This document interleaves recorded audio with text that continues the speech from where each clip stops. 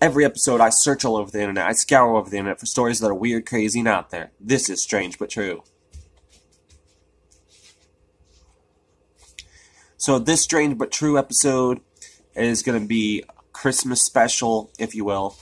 The day this video goes up is December 21st, which for people like me that are witches, it's Yule which I have done a previous video about Yule. I'll leave that in the description bar below just in case you want to check it out. So go ahead and click that link in the description bar below. I'll have that down there so you can click on it and check it out.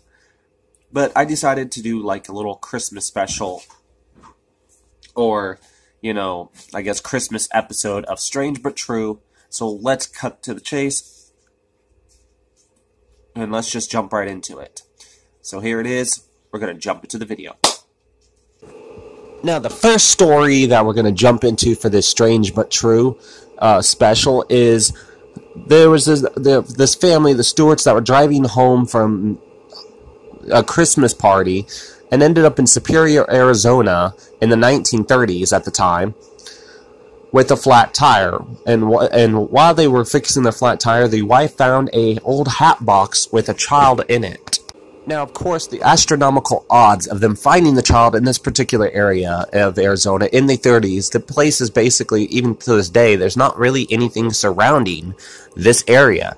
So for them to find this child when they did, and at the time they did, is in itself a strange but true story, but also a Christmas miracle, if you will. After they discovered the baby, they uh, brought it to the proper authorities so the baby could be adopted outright properly and at that time, then finally, a family adopted her, the Hatbox baby and then named her Sharon. In Christmas of 2009, Tracy Herman, I can't pronounce the name. Anyways, she was giving birth to a baby and it was perfectly healthy. She was have no uh, history of cardiac arrest. Went into cardiac arrest and died. The doctors, deciding to try to save the baby, performed a cesarean section on the woman who was deceased. And it, four minutes later, after getting the baby out, the baby was dying. Then four minutes later, the woman who was dead for four minutes came back to life, and her heart stabilized, and then the baby ended up fine.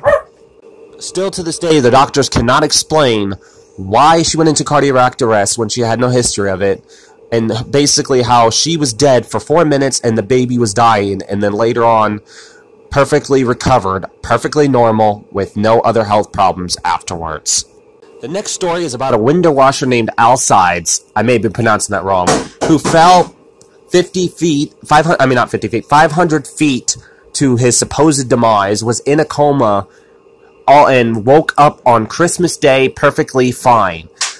And of course, he, he had to learn to walk again. But after he learned to walk, he actually did a charity three mile walk for charity. Doctors to this day cannot explain how a man fell 500 feet and survived. In fact, famous physicist, I can't remember his name, so it'll be on the screen right here. Famous physicist said that obviously it was luck, which is the closest you'll ever get a physicist to saying that it was a miracle. Now, this next story that I'm about to tell you takes place in the 1950s during the Korean War. After the start of the Korean War, thousands of North Koreans were gathering at the Hungnam docks, hoping for one of the Allied ships to get them somewhere less massacrey. But by the time they got there, there weren't any ships left, and they didn't seem realistically that they were going to get, you know, saved. Thankfully, like one of the ships were captured by I mean, captained by uh, Leonardo LaRue, a firm believer that one ship couldn't one ship that one couldn't concern himself with things like reality where human life is at stake. So he got was able. This ship was only able to hold 60 people at most, but he ordered all 14,000 North Korean refugees to get on the damn boat, as he called it, which is sort of like stuffing 200 people into one coffin. They all did get on one boat, and miraculously, they ended up with more people on the ship than they started with.